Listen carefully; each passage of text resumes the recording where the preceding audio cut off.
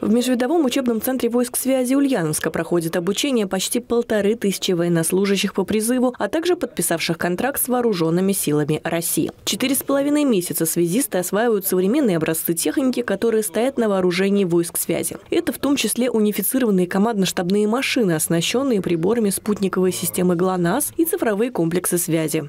Развернуты учебные полигоны. Э, в классах находится стационарная техника связи, тренажеры, имеются компьютерные классы.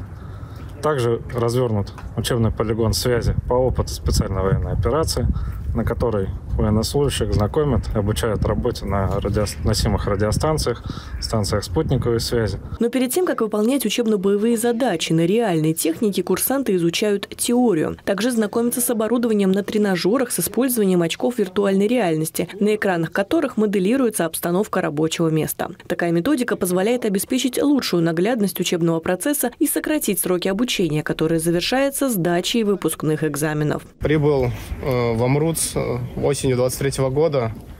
Сейчас нахожусь на специальности специалист многоканальной радиорелейной связи.